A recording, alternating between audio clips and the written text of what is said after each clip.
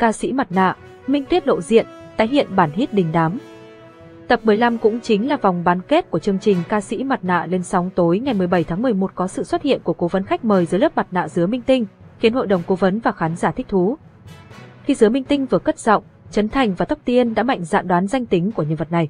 Thậm chí, ca sĩ Tóc Tiên còn khẳng định, em biết chị dứa Minh Tinh là ai, nếu em đoán sai, hai chị em sẽ không bao giờ gặp mặt nhau nữa.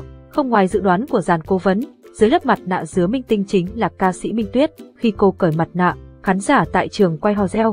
Không chỉ vậy, nữ ca sĩ còn gửi đến khán giả và dàn cố vấn một đoạn của ca khúc Đã không yêu thì thôi, nhạc phẩm gắn liền với tên tuổi của mình.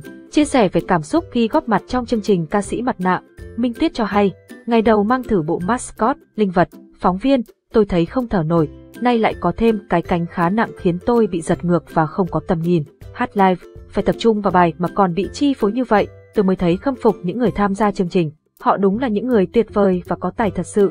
Trong tập này, ngoài sự xuất hiện của cố vấn Minh Tuyết, màn tranh tài của top 4 gồm voi bản đôn, Hippo Happy, ông Baby và Cú Tây Bắc cũng khiến khán giả hồi hộp. Trên sân khấu, ông Baby với sự giúp sức của bướm mặt trăng trung quân, mascot ở ca sĩ mặt nạ mùa 1, đã mang đến liên khúc lệ lưu ly, cắt đôi nỗi sầu. Với lựa chọn này, ông Baby chứng minh được khả năng thích ứng với nhiều dòng nhạc cùng sự linh hoạt trong cách xử lý bài hát của mình. Ngoài ra, màn trình diễn của voi bản đôn trong tập này cũng để lại ấn tượng với khán giả. Kết hợp cùng nô quý tộc Hà Nhi, mascot ở ca sĩ mặt nạ mùa 1, voi bản đôn mang đến liên khúc chắc anh đang, lời tạm biệt chưa nói. Khi nghe voi bản đôn rap, cố vấn khách mời Minh Tuyết tấm tắc khen, em có được nhiều yếu tố khác nhau cần thiết cho một ca sĩ trẻ triển vọng ở thời điểm hiện tại. Chị nghĩ em đủ năng lực để có thể ngày càng đi xa hơn nữa.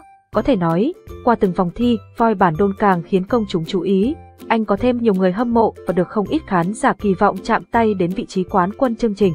Kết thúc các phần trình diễn, chương trình ghi nhận và bảo lưu kết quả bình chọn của hội đồng cố vấn và khán giả tại trường quay. Sau đó, tổng hợp với lượt bình chọn tại đêm chung kết để tìm ra mascot sẽ phải lộ diện. Như vậy voi bản đôn, Hippo Happy, Ông Baby và Cú Tây Bắc sẽ cùng tranh tài một lần nữa tại đêm chung kết để tìm ra top 3 chung cuộc và lộ diện vào đúng đêm concert được tổ chức tại thành phố Hồ Chí Minh vào tối ngày 16 tháng 12. Cảm ơn các bạn đã xem video trên kênh TVT Movie nhấn đăng ký kênh để ủng hộ và xem được những video mới nhất nhé.